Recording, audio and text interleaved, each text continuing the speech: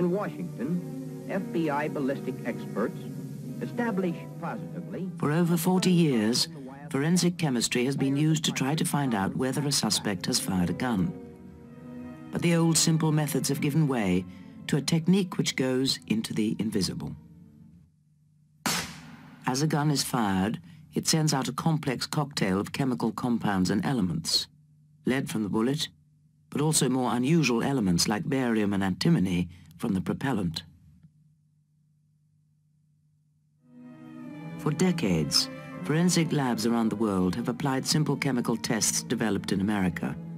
They test for the presence of these elements. A simple color change on the filter paper or a change in the light spectrum from a flame. These were the telltale signs of the presence of each of the three key elements but all the tests were for each element in turn.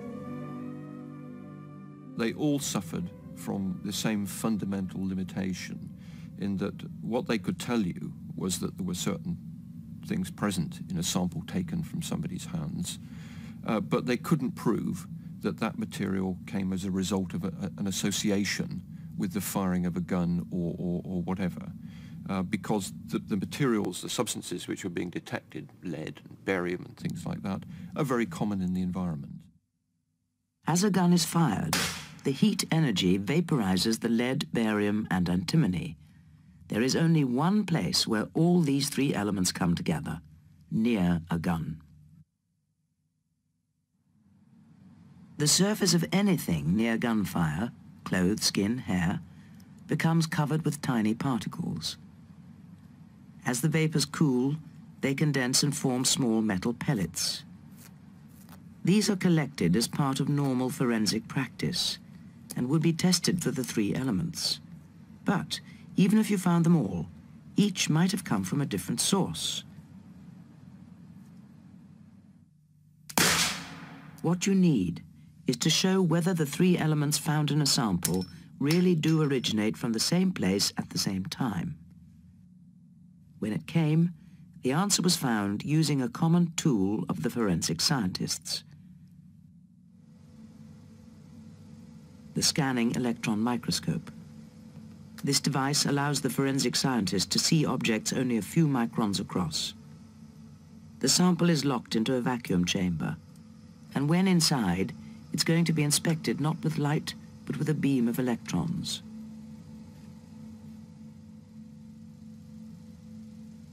While using this for standard lab work, Robin Keeley hadn't realized it would be the tool which would offer up a solution to the problem of dealing with the original source of gun residues. The solution came by chance.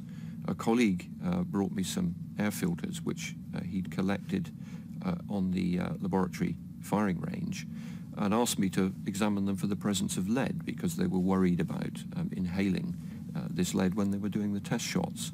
And it was only when I started to look at the filters that I uh, noticed these rather strange particles which, which I'd not seen before. Scanning through the dust, he came across the mysterious tiny round particles.